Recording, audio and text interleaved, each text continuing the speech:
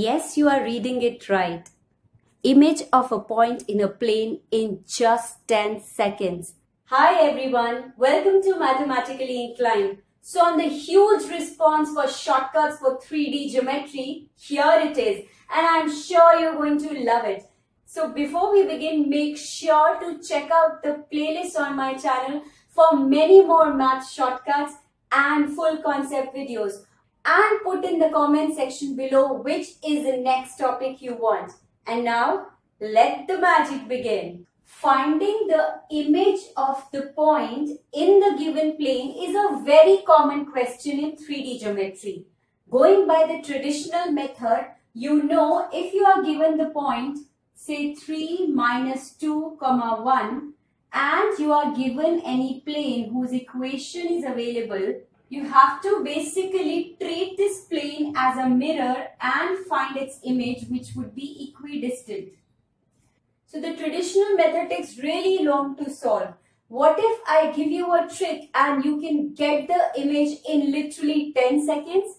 Yes, this is possible. How? Well, watch this video till the end as I reveal the secret formula. Suppose you say that the image be, so let the image be alpha, beta, gamma, which you have to find. Now, all you need to do is write alpha minus 3, beta plus 2 and gamma minus 1. So, basically, I'm just subtracting alpha minus 3, beta of minus of minus 2 makes it beta plus 2, gamma minus 1. And for your denominator, you just take the coefficients of x, y and z. So this becomes upon 3, this becomes upon minus 1 and this becomes upon 4. What is critical is what I write on the right side.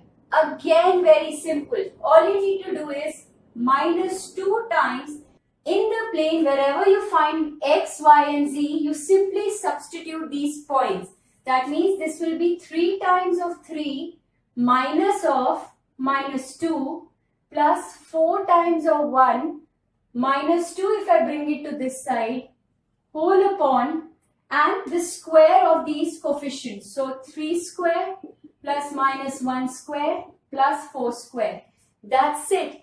The right hand side would always be a very simplified number like if you see minus 2 and plus 2 get cancelled, 9 plus 4 is 13. So minus 2 into 13 and here it is 9 plus 1, 10 plus 16, 26. These get cancelled and give you only minus 1. Now to get your alpha, you would simply equate the first and the last one. For beta, second and the last one. And for gamma, third and the last one. So, alpha minus 3 upon 3 is equal to minus 1. That gives me alpha is equal to a 0. Similarly, beta plus 2 upon minus 1 is equal to minus 1. That gives me beta is equal to minus 1 and gamma minus 1 whole upon 4 is equal to minus 1 which gives me gamma is equal to minus 4 plus 1 so minus 3. So the image of the point is simply 0 minus 1 minus 3. That's it. As simple as that. Let's discuss the procedure one more time with a new question. So you have to find the image of the point 7, 14, 5 to the given plane. Once again, if I assume the image to be alpha, beta, gamma, then we subtract the coordinates. So alpha minus 7, beta minus 14, gamma minus 5 upon the coefficients of x, y, z. So 2, 4 minus 1 is equal to minus 2 times. Now, wherever you see x, y, z, just substitute these. So this will be 2 into 7 plus 4 into 14 minus of 5.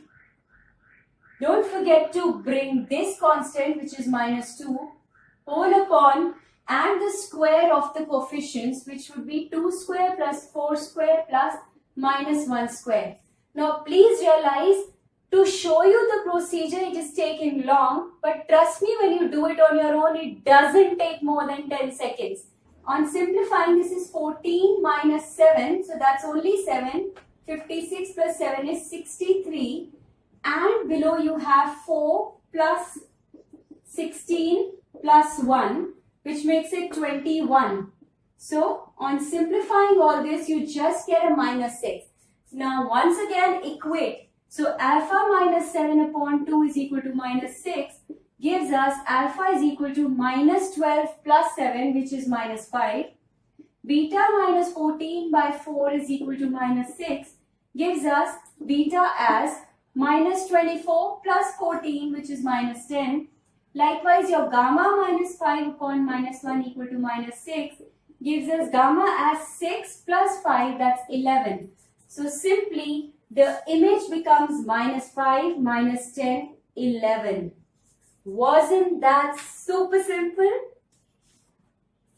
Please note if you have been only asked to get the foot of the perpendicular instead of the image, you know foot of the perpendicular would be just halfway through. So instead of your 2, let it be only minus of the same thing. So you don't need this 2. That means this should be equal to minus 3. And you would equate everything 1 by 1, 2 minus 3 and get the foot of the perpendicular. Picking up one more example which is slightly different, it says find the image of the point but this time you're given everything in the vector form. Don't get hassled. All you need to do is put everything in the Cartesian form and everything becomes super simple. This is also the tip in case you're giving your school exams. Always convert everything in Cartesian form because they are much easy to tackle. So simply the point that means become 1, 3, 4 and this plane is 2x minus y plus z plus 3 is 0. Basically we are picking up the coefficients and multiplying them with x, y and z. Having done that I am sure you people have already started working. So this would be alpha minus 1 is equal to beta minus 3 is equal to gamma minus 4 upon the coefficients which are 2 minus 1 1 is equal to minus 2 times 2 times 1 minus 3 plus 4 plus 3 upon the coefficient the square of the coefficient so 4 plus 1 plus 1 this gives us the answer minus 2. Now you start equating alpha minus 1 by 2 is equal to minus 2 gives us alpha is minus 4 plus 1 so minus 3. Beta minus 3 upon minus 1 is equal to minus 2 means beta is equal to 2 plus 3 that's a 5 and gamma minus 4 by 1 is equal to minus 2 gives us gamma is minus 2 plus 4 that's 2. So the image is minus 3, 5, 2. Bingo. In case you wish to write it in the vector form, you can write it as minus 3i cap plus 5j cap plus 2k cap. It's time for our do it yourself question. It says find the image of the point 3, 2, 1 in the plane 2x minus y plus z plus 1 is 0. You know the procedure, get started. And, and you know the first three correct answers I always name them in my next video. So get started. I am sure you loved the video. If yes, make sure to give it a big thumbs up.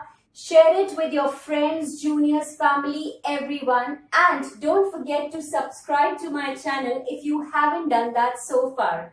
Also make sure to check out all the playlists on my channel for many more math shortcuts and full concept videos. See you with the next exciting one. Until then, bye-bye.